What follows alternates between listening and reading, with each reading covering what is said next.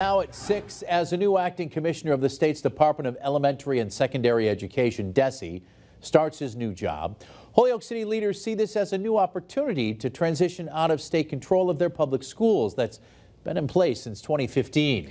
Tonight, we take a step back to understand how all of this impacts teachers. And Western Mass News reporter Wesley Days is live for us with more on this after speaking with the president of the Massachusetts Teachers Association. And Wesley, he says receiverships like this mean high teacher turnover rates. Exactly, Abby and Chris. And they are in the classrooms day in and day out, helping our kids learn what they need to know to go out and make the world a better place. In some of these places, Max Page, who's the president of that organization that you just talked about there, says turnover rates are as high as almost 30 to 40 percent. You want to know why. Educators who may be highly qualified now say, well, I have I have minimal union rights. I'm up to the kind of the whim of the receiver. I think I'll go to another district. One of the most important things we know um, to help students learn is a consistent group of adults in their schools. Teachers, paraprofessionals, others they see day in, day out, year after year. And to have that many teachers leave is a huge problem. Well, here at Holyoke, it's been nearly nine years since the receivership started back in 2015 due to chronically low test scores and low graduation rates.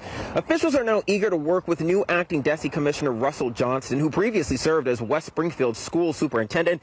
Acting Commissioner Johnston is slated to be at next week's school committee meeting here in Holyoke, which is scheduled for this upcoming Monday. Public comment will also be heard. Now, speaking of public comment, we also asked President Page what a receivership can mean for students in the community they're in and all the community organizations that are affected by this receivership. He says Holyoke is already on the right path the communities like Holyoke are doing exactly the right thing, which is that they have work together. That is the school committee, um, the the mayor, the unions have all gotten together and said we want to have a plan to get out of receivership. We're ready. We're unified.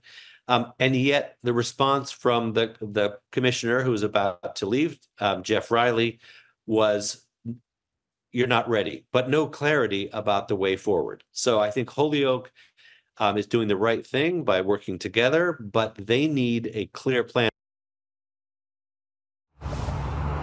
a clear plan, Abby and Chris. Now, speaking about uh, the man that President Page was just talking about, former Commissioner Jeffrey Riley, he stepped down just a few days ago. Commissioner Johnston, or acting Commissioner Johnston, is just in his first few days in this role. Next week, he'll be right here in our portion of the Bay State to talk more about getting the ball rolling to make sure that this city is on its path to getting towards out of that receivership, or getting out of that receivership, I should say. Now, tonight we are also hearing from Acting Commissioner Johnston. He gave us a comment uh, in a statement to our newsroom this evening. It says in part, quote, I look forward to meeting with the school committee next week to discuss how we can develop a plan to build the committee's capacity to make further improvements in the district. A well-prepared school committee is essential for our shared commitment to returning to the school district or to returning the school district to local control. Now, there's still no timeline on when that transition will happen. We'll keep you updated